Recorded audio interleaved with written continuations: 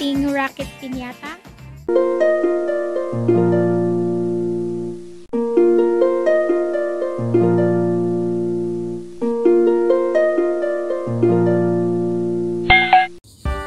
Hello, mabuhay! Gagawa po tayo ngayon ng rocket pinyata.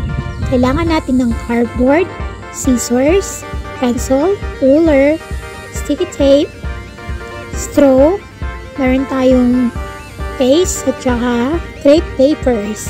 We have color blue, red, yellow, and orange. Umpisahan na natin. Drawing na tayo ng rocket natin. Saka natin kukupitin yung ating shape. Ngayon naman po, mayroon tayong front at back na karton ngayon. Nagawin na lang po natin is i-trace natin yung nauna nating gupit sa back cardboard. Pubutasan na po natin ang ating pinyata. Saka natin itatali ang straw. Kumuha ng maliit na karton at mag-drawing tayo ng side wings para sa ating rocket ship. Gagawin natin ng dalawa para sa left and right. Umpisahan na po natin maglagay ng face. At maya maya, isusunod na natin ang crepe papers.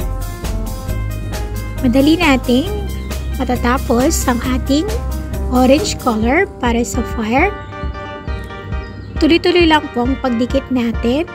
Meron na tayong blue at another blue para sa wings ng ating rocket ship. So, umpis ang left and right po yan. Then, let's go back to the orange and our blue for the body.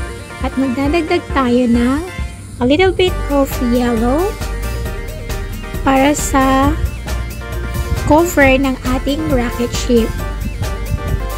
Dagdagan ulit natin ng orange crepe paper. Paggupit tayo ng bilog, color blue at black para sa magiging window at doors ng ating rocket pinyata.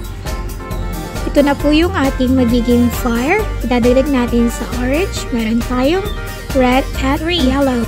2, 1, blast off! Ito na po ang ating rocket pinyata. It's blue and orange in color. Kita nyo naman po, kahit nasa malayo yan, kitang-kita po yan sa ating birthday party. Napakatingkad ng kulay at maganda to para sa kasiyahan ng birthday party.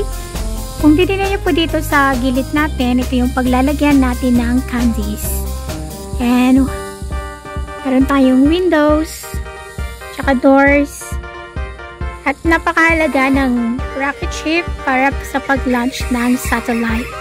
Birthday Aaron! Dream high, dream big to infinity and beyond.